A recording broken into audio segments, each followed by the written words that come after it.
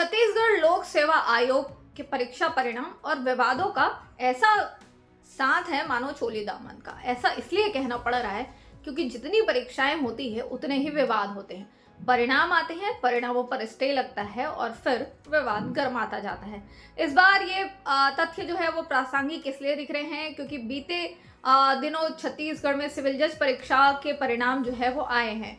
और इन परीक्षा के परिणामों में कहीं किसी शर्मा को, कहीं किसी चतुर्वेदी को तो कहीं किसी द्विवेदी और अग्रवाल को ओबीसी और एसटी के कोटे से भर्ती कर दी गई है।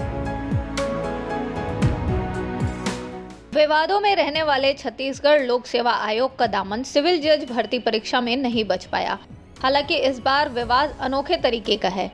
इसकी चयन सूची पीएससी ने कुछ दिनों पूर्व जारी की थी। अब यह चयन सूची नामों के आगे उल्लेखित जाति को लेकर वायरल हो रही है। दरअसल, इस सूची में शर्मा, चतुर्वेदी और परमार उपनाम, अर्थात सरनेम वाले कैंडिडेट के नाम के आगे एससी लिखा हुआ है। तो वहीं अग्रवाल नाम वाले अभ्यर्थी को ओबीसी कैटेगरी में रख दिया गया है। हालाँकि पीएससी चेयरमैन ने विवाद को खत्म किया और उन्होंने बताया कि पूरी प्रक्रिया नियम अनुसार हुई है और सरनेम की गलत फहमी के विवाद के बाद पति का नाम लगने से पैदा हुआ है। इसमें दस्तावेजों की जाँच के बाद ही परिणाम घोषित किए गए हैं। पीएससी ने सिविल जज के 48 पदों के लिए यह परीक्षा आयोजित की थी।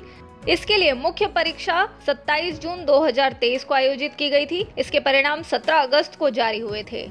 लेकिन आरक्षण संशोधन विवाद के चलते साक्षात्कार नहीं किया गया था। मौजूदा वर्ष में दो से पाँच जनवरी और आठ से ग्यारह जनवरी तक साक्षात्कार किए गए। साक्षात्कार के परिणाम आने के बाद जारी हुए।